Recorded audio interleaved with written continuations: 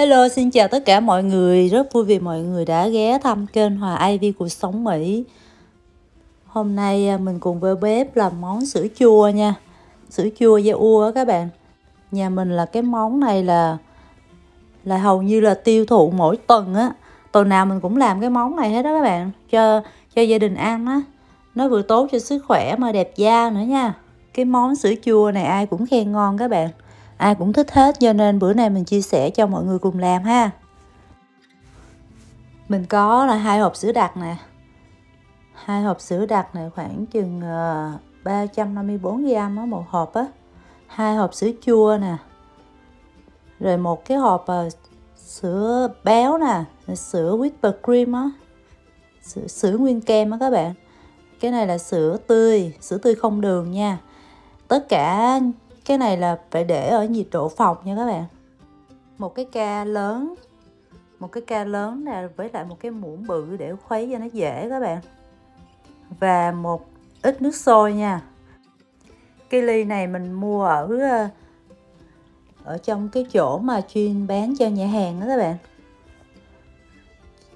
Mình có thể vô đó mua mà không cần membership luôn các bạn bây giờ mình khui hai cái hộp sữa đặc này ra, mình đổ vô cái ca lớn nha. Trong lúc này thì mình đang nấu khoảng à, 700 700 ml nước sôi các bạn. 700 ml nước sôi khoảng à, hai lon rưỡi sữa bò này các bạn. Mình bỏ vô sữa bò cho các bạn thấy nè. Bỏ nước sôi vô, mình khuấy, mình lấy hết cái sữa ở trong cái lon này ha cái này cẩn thận có nóng các bạn lấy sẵn cái tờ giấy để mình chung thôi phỏng nha. Nước thì là sôi á. Thì mình cho thêm ờ, khoảng chừng gần một nửa nữa. Để mình lấy hết cái sữa tại hồi nãy nó đầy quá cho nên không có khuấy hết được các bạn. Rồi bây giờ mình mình khuấy cho nó thiệt là tan ha. Sau đó thì mình sẽ cho một cái hộp uh, whipped cream nè cái hộp này hộp lớn đó các bạn. Hộp này là gần một lít á.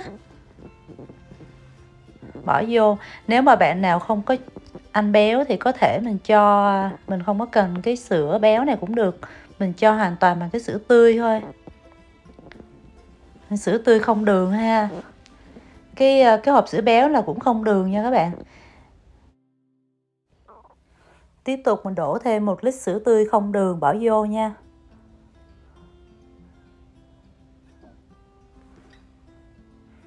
rồi sau đó mình lấy ờ, cái hũ cái nè. Cái hũ cái cái dưa á, rồi mình sẽ khuấy cho nó tan thì là tan ha. Cho nó tan thì tan á. Mà lưu ý là những cái ờ, hũ cái, sữa ờ, toàn là để ở nhiệt độ phòng nha. Là có nghĩa là nó nguội hết rồi mình mới làm nha các bạn. Cho tí xíu để cho nó loãng ra cho tí xíu sữa cho nó loãng ra rồi mình mình mình khuấy. Xong mình đổ từ từ vô vừa vừa đổ vừa khuấy cho nó tan nha cho nó đều vô cái sữa. Coi như là cái công thức này á, là một một một đó các bạn. Giống như một sữa à, một hộp sữa nè.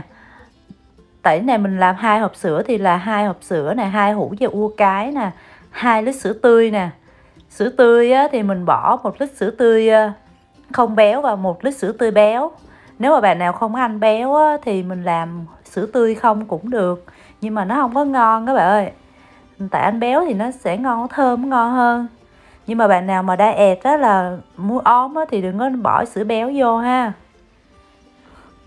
À, món dây ua này là ghiền lắm luôn các bạn. Rồi xong rồi đó các bạn mình khuấy cho nó đều, cho nó tan, sau đó thì mình sẽ cho vô cái ly. Cho cái ly nè. Đổ đều đổ đều đều vô cái ly rồi đóng nắp lại.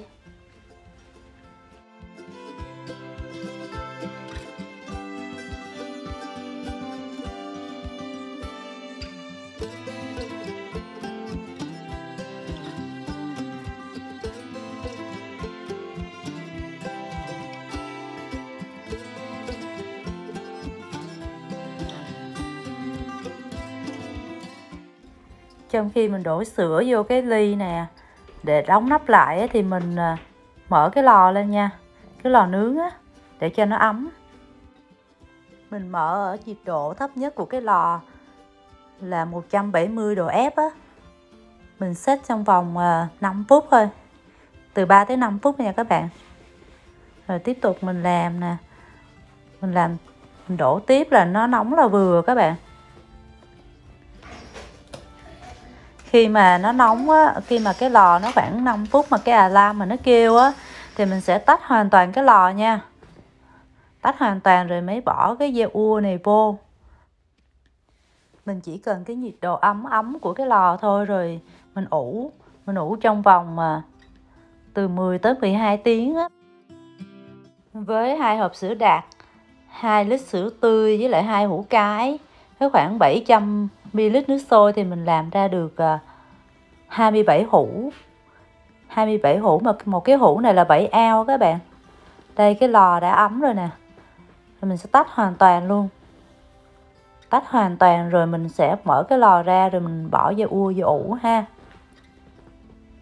Nó thường là mình làm buổi tối á, thì buổi sáng sáng hôm sau mình sẽ xếp nó vô tủ lạnh còn hoặc là làm buổi sáng thì buổi tối.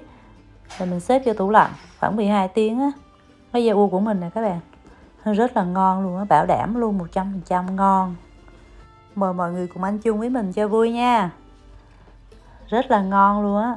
Mình có thể cốt hết ờ, hai tới ba hũ luôn á, mồ hôi luôn các bạn. Mà trong khi đó da u ở chợ Mỹ mình không ăn hết một hũ luôn các bạn. Là biết sức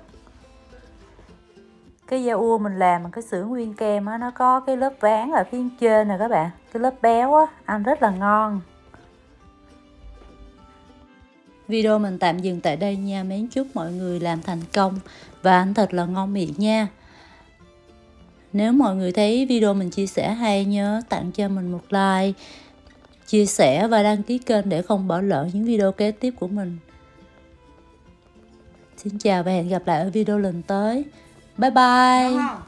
Dạ. Cái này là gì? Món này tên gì? Phở món này tên gì? Dạ. U giỏi ngon